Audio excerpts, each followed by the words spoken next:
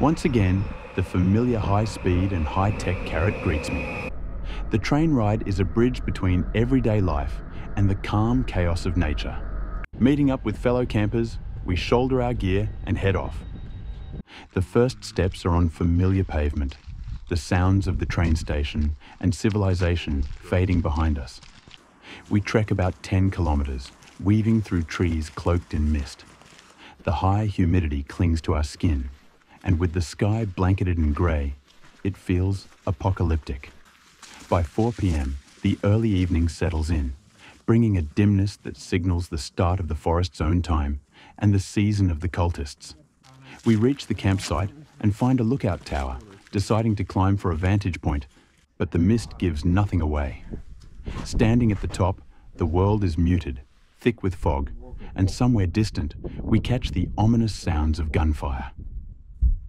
It's a reminder of the dangerous world beyond, just out of sight, yet surprisingly close.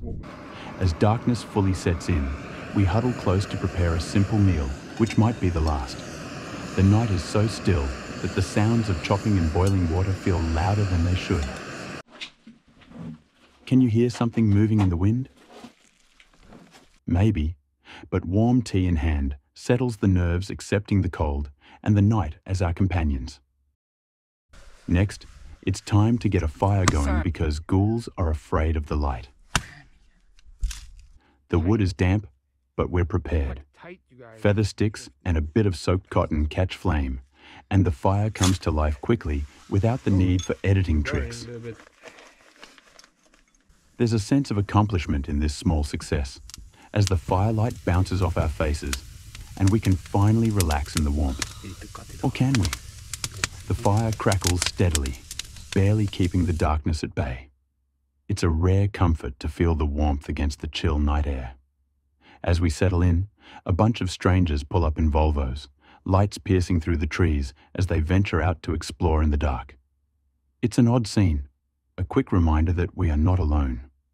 After we get rid of the bodies, we look for a spot to sleep, but find little good ground for our tarps. We decide instead on an old hut nearby, laying out our bedrolls indoors.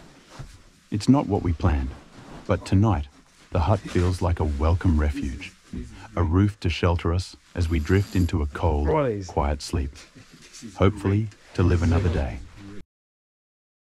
Morning dawns, and we wake feeling rested despite the chill. It's great, man.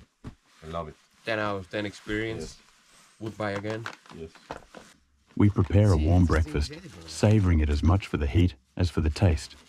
Our bodies feel lighter, recharged, and ready for the hike back.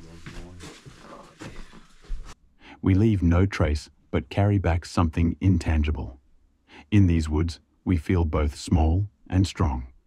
Until next time, when the call of the forest draws us back into its quiet strength for another adventure.